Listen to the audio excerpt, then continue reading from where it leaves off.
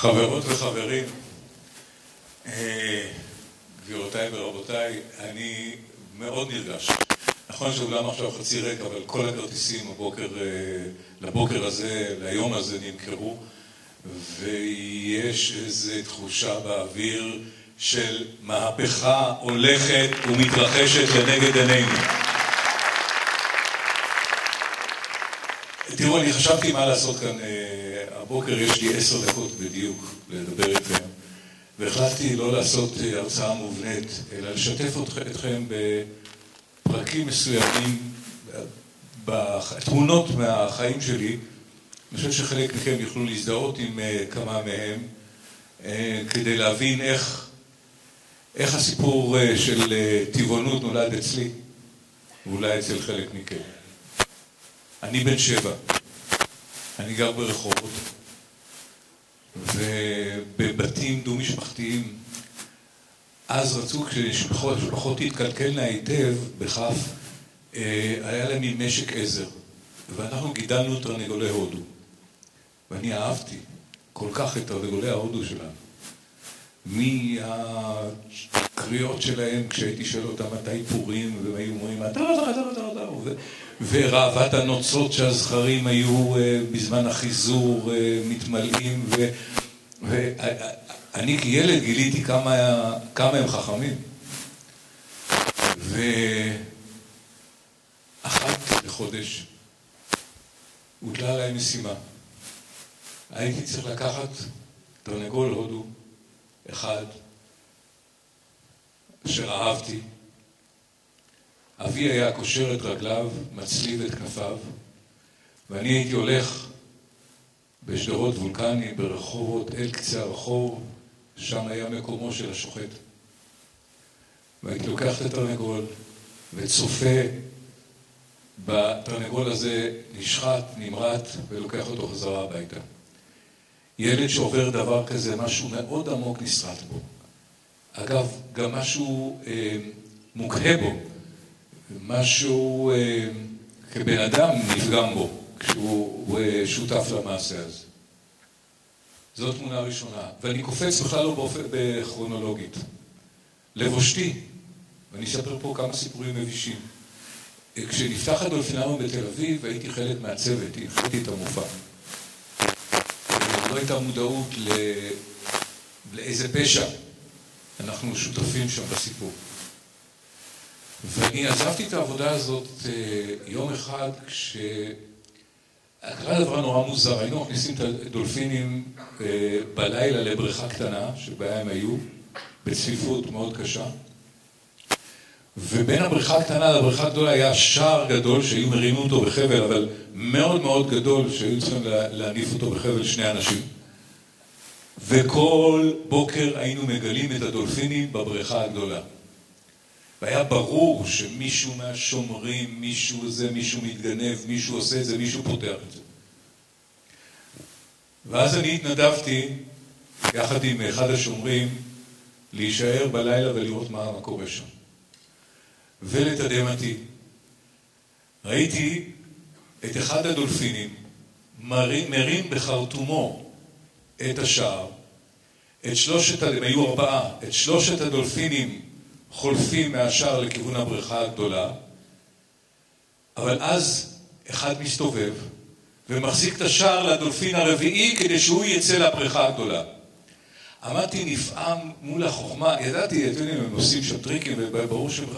עמדתי נדהם מול החוכמה הזאת, ואמרתי לעצמי, מה אנחנו עושים? מה אנחנו עושים? איך אנחנו מעזים לקחת את הדברים המופלאים האלה ולסגור אותם אה, מאחורי סורג ובריח? סיפור אחר. סיפור אחר, אנחנו תכף נגיע לבעלי החיים שבהם אה, עיקר היום הזה עוסק בו, אבל סיפור אחר עוסק באורנגוטן.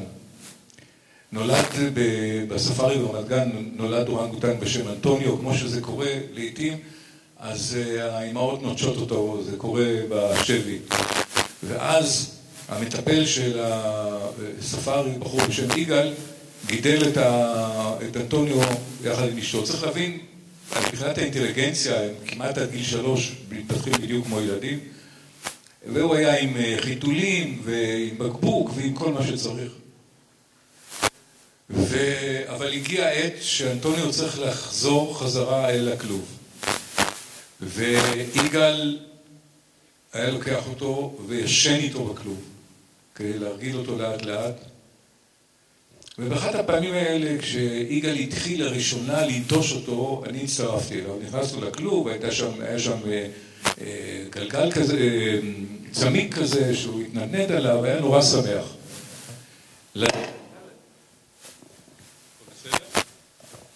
חד חד, הייתה לדלת ידית, שכשיגאל נכנס, אתה יודע, ידית רגילה של דלת, הוא שלף אותה והכניס אותה לכיס האחורי שלו, כדי שלא יעלו מחשבות לאנטוניו לברוח. ואז אנטוניו אומר לו, אה, יגאל אומר לאנטוניו, אנחנו הולכים. ולפתע אנטוניו מתכופף, מתכווץ כולו, נע שני צעדים לאחור, ועושה סיבוב מהיר ניגש ליגאל, שולף את הידית של הדלת ומחביא אותה מאחורי הגב. אנחנו שנינו בכינו. אנחנו שנינו בכינו שוב השיפוט האנושי, היהיר, ה... חוויה נוספת מאוד פשוטה. אה, יום אחד, כשהייתי, התחלתי להיות אקטיביסט בקטן, גידלתי שתי תרנגולות בחצר. וראיתי לתדהמתי שוב את השיפוטיות שלנו. יש ביטויים בסדרה של שפות, מוח של תרנגולת וטיפשות של תרנגולת, וראיתי איך הן מסתדרות עם הכלבים שלי באמת במיטות בהם בגובה העיניים, חוטפות להם מהאוכל בכל מיני תרגילים, מחכות בבוקר, פשוט בעלי חיים אה, מופלאים, ואז צצה גם הזוועה של מה שאנחנו עושים להם. כשהייתי בערך בגיל של הממוצע הגילאים פה, שיחקתי בהצגה בצוותא, וקיבלתי התקף לב על הבמה. אה, פוניתי הביתה, טבעונות הייתה אז ממני והלאה. ו... אחרי ששהיתי שעתיים בבית, זה התפתח להתקף חריף, הגעתי לבית החולים, מתתי, מתתי, והשיבו אותי לחיים. אה, כששבתי לחיים הייתה תקופה נוראית, כי הייתי בדימוי של בחור חזק, גיבור, צנחן, ולא ידעתי את נפשי, והייתי, חייתי באיזשהו דיכאון, לא ידעתי איך אני יוצא מזה, לא ידעתי למה זה קרה לי, לא ידעתי למה זה מגיע לי. כל השאלות ששואלים במקרים האלה. וחיי חשכו. זה נמשך כמעט שנתיים. ואז פגשתי רופא טבעוני, קוראים לו דוקטור גדעון רון, חלק מכם אולי נתקלו בו. והוא העביר אותי בתוך שיחה של שעתיים לטבעונות. התוצאה הייתה כמו קסם. אחרי שבוע התחלתי לישון כמו תינוק.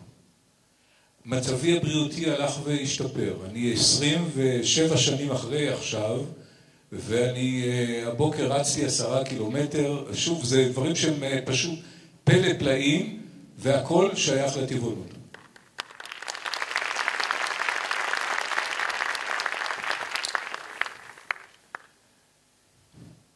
ואני רוצה להגיד לכם, טבעונות זה לא סיפור קל. תשע שנים הייתי טבעוני קיצוני, מקפיד על קלה. וחמורה. אה, אחר כך היו כל מיני סטיות, כמובן שבבשר אה, לא נגעתי מאז ועד היום. אבל בכל פעם שעשיתי את התיקון והקפדתי, ראיתי איך משהו בחיים שלי, בבריאות שלי, באנרגיה שלי, איך הדברים אה, משתפרים באופן אה, פלאי. אה, את תעשי לי סימנים, אה, טל. מתי אה, זמני אה, תם, כי את יודעת, יכול לדבר פה על מחר. אני רוצה להגיד לכם משהו, ותאמינו לי, זה נורא נורא חשוב. יש פה אנשים אקטיביסטים מדהימים. אני מכיר חלק מהם מקרוב ומעריץ את הפעילות שלהם, פשוט מעריץ את הפעילות שלהם. אבל כדי להפוך את שלוש מאות האלף האלה לשלושה מיליון, צריך לנוע עם הטבעונות בשלושה ראשים. כן, הראש המוסרי הבסיסי שקשור לבעלי חיים, ביחס שלנו אליהם. הראש השני הוא הראש הבריאותי. אנחנו צריכים להבין שאנשים שעושים את זה פועלים שוב בחמלה לבעלי חיים, אבל גם בחמלה כלפי עצמם ומשפרים את הבריאות שלהם. והראש השלישי הוא הראש הסביבתי. לטבעונות יש מקום מרכזי בשמירה על הסביבה. ואם ננוע בשלושת הראשים האלה בחוכמה, ננצח ובגדול. לפני אה, אה, שנה וחצי כבר, נשארה לי דקה, אני מגיע. לפני אה, שנה התחלתי לעבוד על אה, הצגה שעוסקת בטבעונות. מישהו פה ראה אותה בקהל? יפה.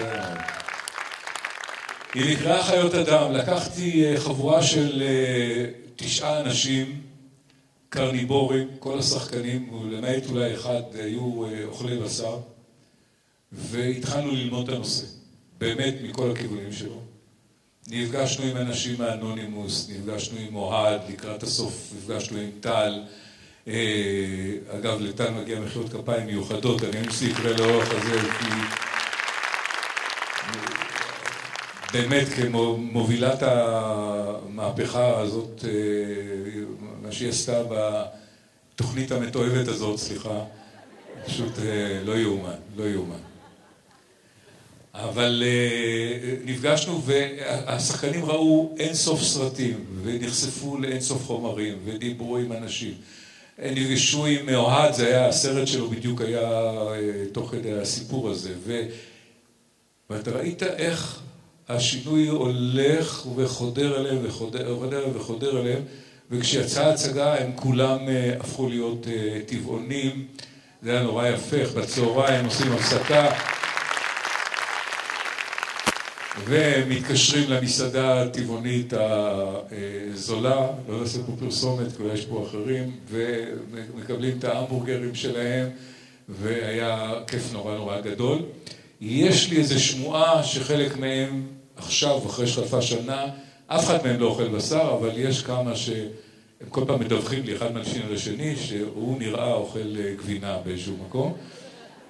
אבל אה, אני מבין, לב העניין, אה, הם, בלב העניין עוד איתם. זהו, אני זמני תם. בהמשך, בעוד עשרים דקות בערך, אנחנו נראה קטעון קצר של שלוש דקות מההצגה, ואני אציג אותו. תודה רבה לכם והרבה כבוד, הרבה כבוד.